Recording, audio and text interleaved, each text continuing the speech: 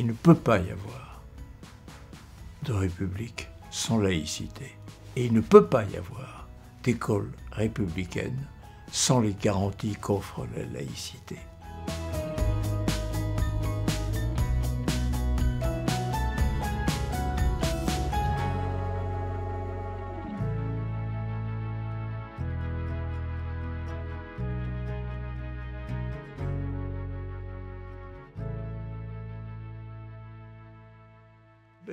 Les choses étant ce qu'elles sont, d'abord je veux vous dire, j'ai été saisi par la beauté, la beauté de cette école.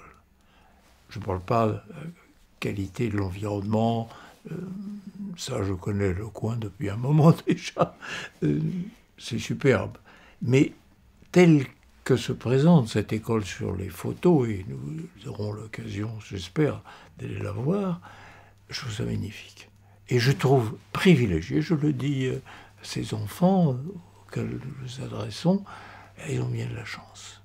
Bien de la chance d'avoir une, telle école, et nous plus encore, évidemment, euh, d'avoir porté notre nom. Mais quel magnifique, magnifique établissement. J'ai noté un détail d'ailleurs qui m'a ravi. Euh, j'ai vu, euh, je sais que nous sommes dans les Landes, j'ai vu qu'il y avait un mur réservé à l'enseignement ou à la pratique de la pelote basque. Ah oui, ah, mur à gauche. Oui, ah, c'est très bien, c'est très bien. Mais tout, tout, je dois dire aussi bien euh, l'architecture que l'emplacement, que vous êtes saisi d'admiration. Vous vous dites, à toutes les écoles de la République devraient euh, être comme celle-là porter notre nom, bien sûr. ça en ferait beaucoup, ça en ferait beaucoup d'enfants. Mais vraiment, c'est à la fois une joie et un honneur. Voilà. Ça, je tiens à le marquer. Il n'y a rien de plus précieux pour euh, quelqu'un comme moi, euh, qui suis euh, déjà fort âgé, et pour Elisabeth, qui est heureusement plus jeune, rien de plus précieux de plus honorable au grand sens du terme que de voir nos noms sur une école de la République. Croyez-moi, ça vaut toutes les décorations, d'ailleurs je les ai toujours refusées, mais là, c'est avec enthousiasme ah. que nous acceptons. C'est vraiment un honneur au meilleur sens du terme. Selon moi, c'est le point central, le soutien euh, et la condition d'une république laïque. Et donc, euh, euh, l'école, les professeurs et, ce qu'on transmet est absolument capital. Et j'ai le sentiment que pour beaucoup de professeurs, c'est de plus en plus difficile dans certaines parties de la France. Donc, je, crois que tout repose sur l'école. Jusqu'à il y a, je dirais, une trentaine d'années, euh, euh, les choses allaient très bien, enfin très bien avec les problèmes qu'on ne peut pas éviter, mais il n'y avait pas de contestation sur la laïcité euh, du tout. tout le monde s'y pliait sans que ce soit un effort ou l'impression de trahir quelles que soient ses croyances ou ses opinions. Donc je souhaite vivement qu'on retrouve cet état d'esprit qui consiste, si vous voulez, à l'école, d'être, euh, d'oublier, je dirais, ses, spécificités, ses croyances, pour être là, pour recevoir du savoir, pour exercer sa raison, pour apprendre euh, à réfléchir. Voilà. Et malheureusement, c'est pas si simple aujourd'hui. Donc, tous mes espoirs pour le futur reposent sur l'école sur l'école elle-même, oui, euh, elle était confrontée euh, aux défis nouveaux, mais euh, vous savez, moi j'ai foi dans l'école républicaine, d'ailleurs, sinon je ne serais pas un vrai républicain, et je voudrais ajouter simplement à ce que dit Elisabeth, c'est vrai que nous vivons, pourquoi ne pas le dire, une crise de l'enseignement. C'est vrai que nous passons et nous sommes passés euh, d'un enseignement qui reposait sur les fondamentaux de jadis, notamment sur la lecture, notamment les beaux textes qu'on apprenait par cœur, tout ça. Aujourd'hui, nous sommes plongés dans une école qui s'inscrit dans l'ère numérique pour pas y échapper. Donc c'est cette période très difficile de transition que le corps enseignant doit assumer. Et euh, je mesure bien euh, l'immensité de la tâche des, des, maîtres, parce que dans un monde devenu numérique, ayant eux été plus formés euh, par le livre, l'écriture, la tradition ancienne de la culture, c'est un monde nouveau dans lequel ils s'aventurent dans lequel, évidemment, se plongent déjà les élèves. Là est la rupture de, euh, difficile, le passage en tout cas très difficile d'une société qui était la nôtre, celle de l'écrit, de l'imprimé, de la lecture, à une autre société qui est celle du numérique. Qu'en sera-t-il? Comment ça se passera-t-il? Euh, On croise les doigts, on fait des vœux. Moi, je n'aurai pas l'occasion de franchir cet égard le Rubicon. L'école a ceci de particulier, c'est que à l'école, ce qui nous unit, nous, les enfants, est plus important que ce qui nous distingue.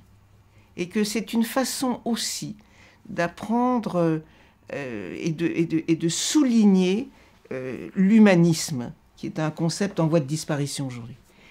Euh, à savoir, il y a une humanité, nous avons, et, et c'est comme un mantra pour moi. Finalement, même si on appartient à des cultures différentes d'origine, on peut acquérir une autre culture, on peut, je dirais, avoir deux cultures, mais à l'école, c'est ce qui nous unit. Et donc, au lieu, si vous voulez, de d'insister constamment sur les différences, les oppositions, etc.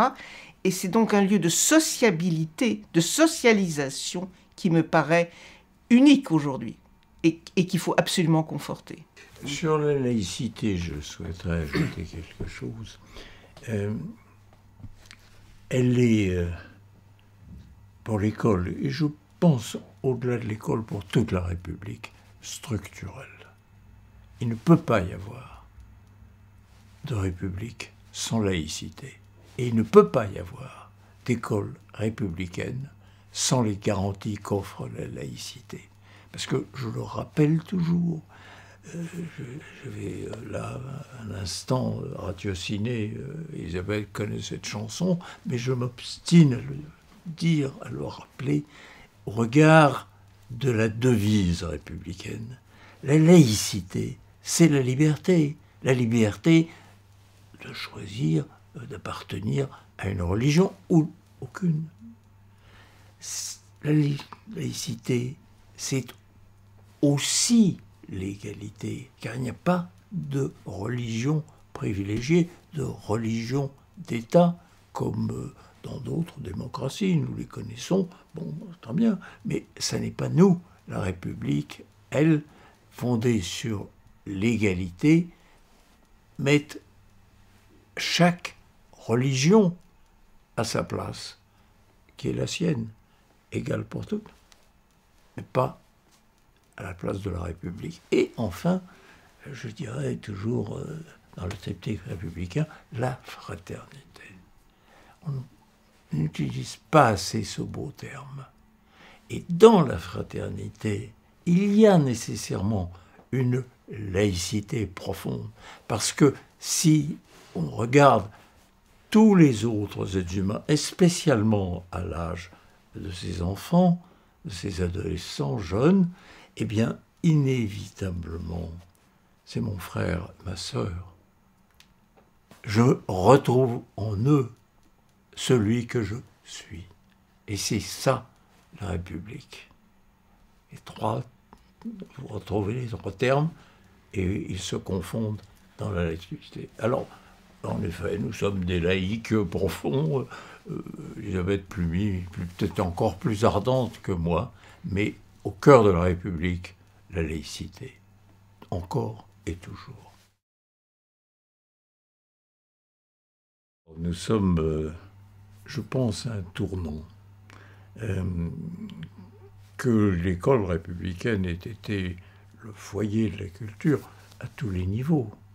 J'entends l'école de la République et cela va jusqu'à normale supérieure ou les plus grandes écoles. Donc, que l'école ait été le foyer même de la République, la flamme vivante de la République, c'est une certitude. Aujourd'hui, euh, je me demande, avec euh, une sorte d'inquiétude, où les enfants, les collégiens de demain et d'aujourd'hui, vont tirer leur culture. Je ne suis pas sûr que ce soit aux mêmes sources que Elisabeth ou, moi, pour des questions qui relèvent euh, tout simplement du temps euh, avec son évolution. La culture numérique, on en revient toujours à cela, cette révolution essentielle de notre temps. Euh, qu'est-ce que voulez-vous Je la regarde, j'essaye de la comprendre, un petit peu de la maîtriser, mais je note un affaissement constant de la culture fondée sur la mémoire. Et quand on dit mémoire, ça veut dire d'abord l'effort d'apprendre. L'effort d'apprendre. Et je suis saisi de voir quand euh, quelques secondes, euh, oui, quelques secondes, euh, d'un seul coup, mon interlocuteur ayant tapé Condorcet, en sera presque autant que Elisabeth ou moi. En tous les cas, ça peut lui suffire. Il peut dire ça suffit et il n'y a pas besoin d'apprendre puisque j'ai plus qu'à retaper le cas échéant si j'ai oublié quelque chose sur Internet et j'aurai le même texte. Donc, comment dirais-je, le besoin, si vous voulez, d'apprendre, d'apprendre les textes, de lire, etc., s'efface un peu en ce moment. On peut pas dire le contraire. Y compris le goût de l'histoire. Le rôle de l'enseignant sera différent. Ça, c'est certain. Je fais confiance absolument au corps enseignant auquel j'appartiens, d'ailleurs, elle et moi, tous les deux. Eh bien, je dis le rôle de l'enseignant, il sera plus la, réflexion que la transmission du savoir. La transmission, elle est concevable avec le numérique. Mais, mais, la réflexion sur la connaissance, pour essayer d'aller au-delà du simple savoir et projeter sur l'avenir la réflexion humaine, créatrice, là, ça demeure le privilège de l'école, y compris dans la méthode. Et ça, ça ne peut pas se perdre transmission des connaissances utilisant le numérique, mais maîtrise et réflexion et dépassement de la connaissance, ça, c'est l'école. Robert euh, a mentionné tout à l'heure euh, le concept qui m'importe le plus en ce moment, ou peut-être qui me soucie un peu. Je voudrais dire aux élèves du, collège comme à tous les élèves de France, le mot qui me semble essentiel, l'effort. Et c'est un mot qui n'a pas forcément bonne presse. Nous avons passé une longue période avec euh, des théories pédagogiques qui consistaient à penser que l'enfant était porteur d'un savoir, il fallait stimuler, euh, mais qu'il savait tout d'avance, et ou alors euh, apprendre par le jeu, par c'est très bien avec des enfants petits. Il y a un moment où il faut affronter l'effort. Et ce mot qui n'a pas bonne presse, euh, je voudrais dire aux élèves que euh, c'est la condition sine qua non de leur vie. C'est-à-dire que plus ils s'entraîneront, c'est pas, on ne fait pas des efforts comme ça spontanément quand on est jeune, mais plus ils s'entraîneront à faire des efforts pour comprendre. Euh, tout le monde ne comprend pas tout tout de suite, personne d'ailleurs. Et donc, il faut absolument qu'ils s'entraînent qui n'en ait pas honte. Et ça suppose une capacité d'attention et une capacité aussi de modestie, c'est-à-dire, bon, j'ai pas compris, mais ça ne veut pas dire que je ne comprendrai pas quand on me, le, maître me, répétera et j'essaierai de comprendre. Et je voudrais leur dire enfin qu'il y a des choses que les uns et les autres ne comprennent jamais. Il y a des littéraires pour lesquels les mathématiques restent une, obscurité totale. on n'est pas spécialiste en tout, mais je, leur, je les supplie de faire tout ce qu'ils peuvent pour faire ces efforts d'attention, pour essayer de comprendre. Encore une fois, c'est pas forcément un succès, loin de là, mais il faut qu'ils développent cette capacité, ça leur servira toute la vie. Toute la vie. Et ça améliorera probablement aussi euh, les capacités euh, économiques, sociales qu'ils auront après à affronter. Voilà, vive l'effort. Après ce qu'Elisabeth a dit et auquel je m'associe pleinement, je me bornerai à dire bon courage.